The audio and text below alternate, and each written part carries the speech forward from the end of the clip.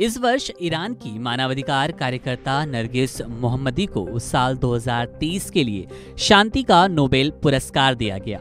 नरगिस ईरानी महिलाओं के लिए ईरान की सरकार से जोरदार लड़ाई लड़ रही हैं और इस समय वे जेल में हैं। उन्होंने अब तक 31 साल जेल में बिताए हैं। बता दें कि उन्हें कोड़े भी मारे गए।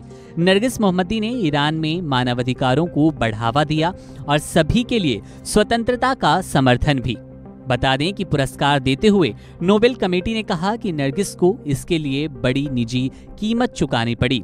मानवाधिकारों को बढ़ावा देने और स्वतंत्रता के समर्थन की जिद में उन्हें तेरह बार जेल जाना पड़ा और इतना ही नहीं, पाँच बार वे दोषी भी ठहराई जा चुकी हैं। कुल मिलाकर नरगिस मोहम्मदी ने इकतीस साल जेल में बिताए, वहाँ उन्हें कोड़े भी खाने पड़े, उन्हें कुल एक सौ चौवन कोड़े मारे गए। बड़ा दिलचस्प वाक्य रहा नोबेल पुरस्कार देते हुए।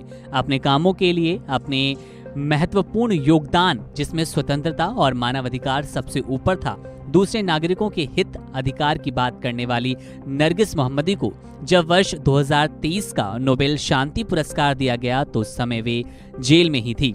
जानकारी के लिए बता दें कि ईरान में सितंबर 2022 में एक युवा कुर्दिश महिला, महसा जिना अमीनी की ईरान की पुलिस की हिरासत के दौरान मौत हो गई थी। इसके बाद उनकी मौत के बाद पूरे ईरान में जोरदार विरोध शुरू हो गया। लोगों ने ईरान की सरकार के खिलाफ जोरदार प्रदर्शन किया। उन्होंने महिलाओं को स्वतंत्रता देने की मांग की। इस प्रदर्शन में लाखों की तादाद में ईरानी लोगों ने हिस्सा लिया था।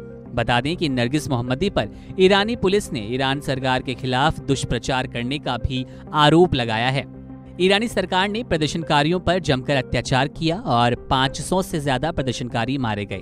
इसके अलावा हज़ारों की तादाद में लोग घायल हो गए। क्रूरता का आलम ये रहा कि कई लोगों की आँख रबर की बुलेट लगने से खराब हो गई। ईरानी पुलिस ने इन प्रदर्शनकारियों पर गोलियाँ चलाई। यही नहीं, प्रदर्शन को कुचलने के लिए अब तक बीस हज़ार से ज़्यादा लोगों को अरेस्ट किया जा चुका है। इस पूरे प्रदर्शन के दौरान प्रदर्शनकारियों ने महिलाओं की आज़ादी का समर्थन किया और नरगिस मोहम्मदी के अभियान को पूरा समर्थन दिया।